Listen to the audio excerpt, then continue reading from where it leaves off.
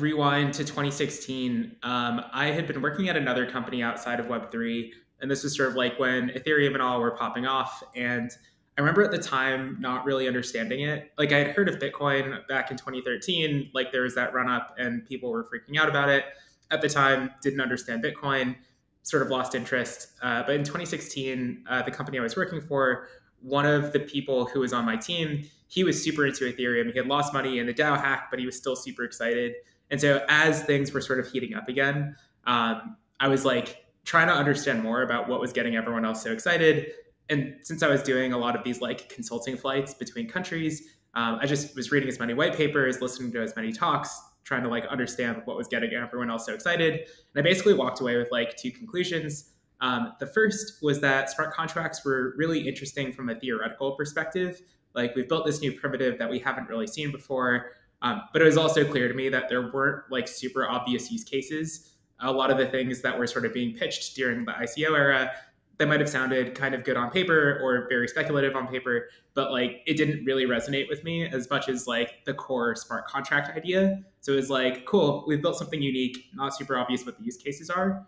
Um, but in that time and doing that research, I came across a talk that Juan, who's the founder of Protocol Labs, a talk that he gave about IPFS.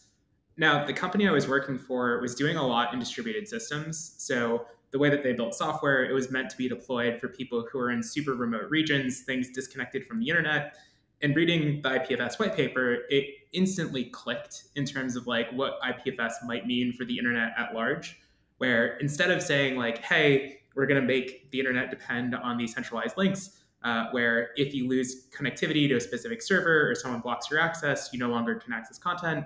Instead, we can build the internet to have sort of these resiliency properties just by leaning into sort of like the distributed nature that it has inherently. And that sort of stuck with me. And it was like outside of Ethereum at the time, like the only other thing I was really tracking was like the IPFS, like Filecoin sort of story. And then I guess like between 2016 and 2019, it was something that like every now and again I would check in on uh, and like just see what was going on.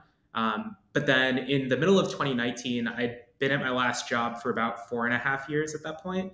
And so it was just a moment of I've been there for a while. Is it really the place that I want to be long term? Or are there other sort of like big things that I think are worth working on? Um, so that interest in Protocol Labs slash IPFS, that was sort of there. So that was like one of the three things I was looking at. So I had a bucket of like Web3 and Protocol Labs, honestly, was the only thing in that bucket for me.